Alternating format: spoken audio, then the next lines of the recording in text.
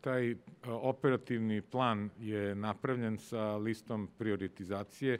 U prvoj fazi kad, do 10% stanovništva prvenstveno su zdravstveni radnici koji neposredno rade, tu je isto napravljena prioritizacija u zavisnosti od mesta na kojima rade.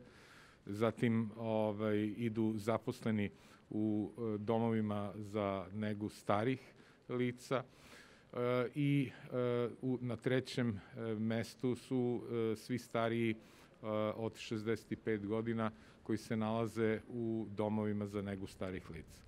Posle toga ide druga i treća faza.